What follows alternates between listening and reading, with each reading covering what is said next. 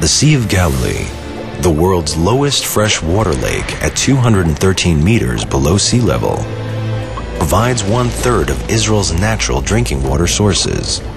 It's also the site of many major historic events modern day tourism, fishermen, and local residents.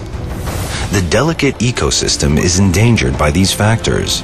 The lake is depleting at an alarming rate following year after year of insufficient rain and a loss of 60 million cubic meters of water annually.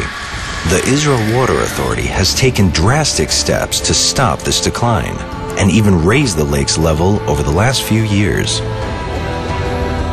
Supervising the entire basin of the lake, improving the water's quality, maintaining an adequate water level, monitoring intake and regulate pumping, defining the amount of water diverted to the national pipeline and to the southern arid areas. The Israel Water Authority is investing heavily in treating water pollution and preventing it. One such method is by populating the lake with special colonies of fish, which help to clean the water.